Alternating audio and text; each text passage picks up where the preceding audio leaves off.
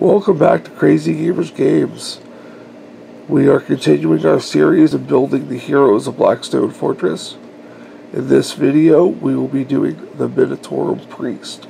I have already clipped the pieces from the sprue, and I have cleaned the base.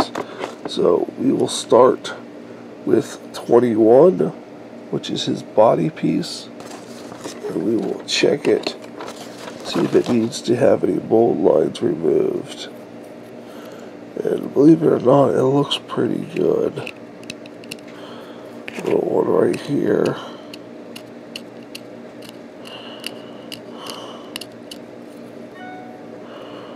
One right there on his gun belt. Or, yep, that was a gun belt.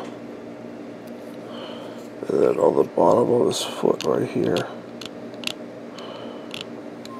Get that, because I don't know if that's going to be the part on the base or not. And then we need 23. 23 looks good.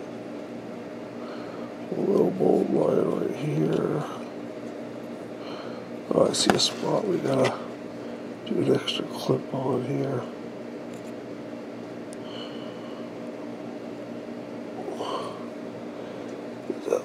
Piece off right there.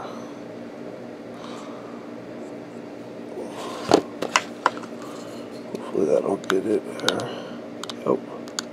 Let's hit that with the mold line scraper. That looks like it's going to slot to the back of our priest. We hope. Okay. That one goes in there. It looks like 25, this gun. Which looks like it has a mold line right there. Little one right there where got cut off. Other than that, looks good. And it looks like this sticks on this skull. Hopefully. Well, that's a tight fit. Okay, it's a tight fit on that one. That's why you don't want to put glue on ahead of time. That capillary glue is fantastic in situations like this. Now we need 22. Let's check this. We got a little bit of leftover sprue on the bottom here. I like to get that, even though it's in the base, I like to get that cleaned up here. Up there. Oh, that's that. We will put this piece on. And, you know, these have been going together pretty good. You know, I've heard nightmares about these push fit models. Now let's check his book here. A little bit of a line down here. Dropped it. As always, I have to drop something in every video. Because that just seems the way it goes. Small pieces and big hands. They're not a good combination. And then this appears to go on just like that. Okay, so we're going to move this book out of the way. And uh, we're going to get out our plastic magic on this one. No, actually, we're going to get the quick set. Um, there's hardly, there's barely no gaps here at all. So we're going to do a nice quick set of these. These joints right there, get the glue in there. A nice capillary action of being drawn into the crack.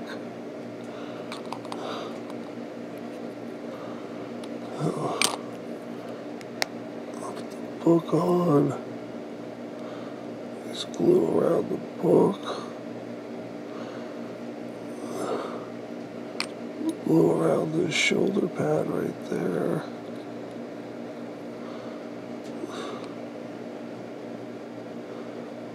There. And see where there's little micro cracks, this glue will expand the plastic slightly and then they will pretty much disappear.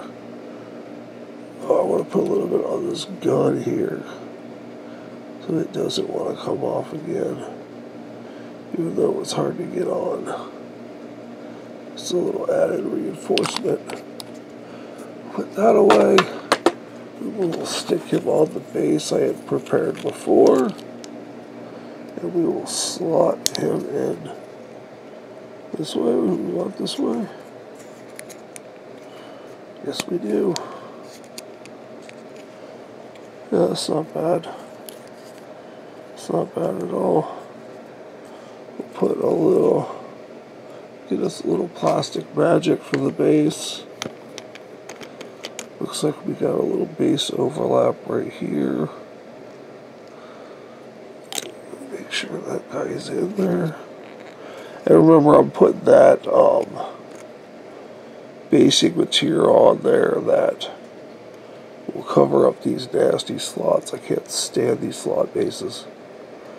It just, it makes the, I don't mind the figure on one of the regular bases just painted black or something but these slot bases, they stand out. Even if you paint them a solid color, they still just stand out. So I, I will put basic material on these to hide them. Just to make them a little bit better. Well, that will do it for this video. This is your Ministorum Priest. It looks like the next model in the queue is the missionary zealot. And I believe that's the one with the flamer. So that'll be fun. So I hope you have a good day and come back and join us for the next video in the series for Crazy Gamers Games. I'm the Crazy Gamer. Thank you.